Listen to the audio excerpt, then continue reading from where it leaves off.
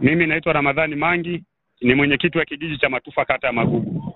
Kwa kifupi ni kwamba hapa sasa hivi kuna mwili wa mtoto mchanga ambaye unaonekana mama baada ya kumzaa tu alimvinikisha kwenye maani kwenye matambaa kwenye mfuko, wamekuja wamekuja kutupa hapa. Kwa kifupi, mtoto anaonekana ndo amezaliwa tu, yaani baada ya kumzaa tu basi itakuwa ndo nadhani alimuua moja kwa moja, maanake inaonekana hata kile kitofu hakijakatwa na ni mtoto wa ji- wa jinsia ya kike. Yaani hapo nachokifanya tu hapa ni nipige simu kituo cha polisi Magugu, imeongea na mkuu wa kituo ili waweze kuja kwa haraka, tuje tushirikiane kuangalia nini cha kufanya, lakini wananchi wa karibu nusu ya kijiji wote wamesharundikana hapa.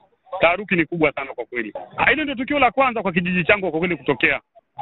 Ni maeneo ya Matufa, kitongoji cha Kichangani, karibu na barabara kuu ya Arusha Babati, pembezoni kabisa, karibu na boksi Kalavati hapa, ndio mimi imetupwa maiti mitupu hapa ya huyu mtoto.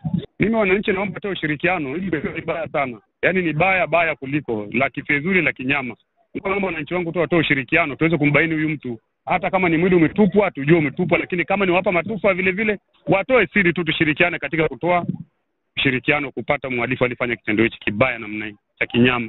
Kiukweli ni hali ya kusikitisha, kwa sababu kwa muda huu mpaka dakika hii tunavyoongea, na mimi ndio nimegundua mwili huu sasa hivi, ni kwamba nimeona mfuko tu, nilikuwa natoka shamba, sasa nikatua hapa, nikaambia wenzangu, nini hiyo kwenye mfuko hapo?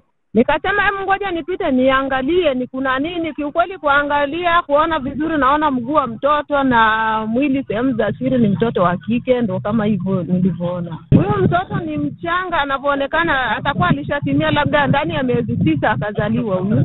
Yaani kwa upande huu kiukweli, inawezekana ni kama tukio la kwanza, hata kama lilikuwepo la nyuma, lakini ni la siku nyingi sana na lilishabainika, lakini sasa kwa hili ndo hatujalibaini namna gani hapa kilichotokea hapa.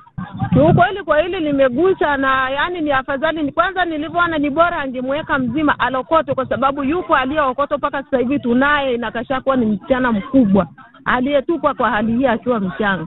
Kiukweli vitendo hivyo wanayevifanya sio sahihi, waviache. Ni kama mtu ameona labda maisha yamemshinda ni magumu, afadhali akabidhi hata mtu alee kuliko kufanya uzalili kama huu walioufanya. Mimi naitwa Filipo Sanka, ni mwenyekiti wa SMAUJATA mkoa wa Manyara. Hapa kilichotokea ni uh, kitoto kichanga kimeokotwa kikiwa kimeshafariki, kiko ndani ya mfuko wa sulfate na kinaonekana ni zaidi ya siku tatu. Alitupwa pembezoni mwa barabara kijiji cha Matufa, kata ya Magugu.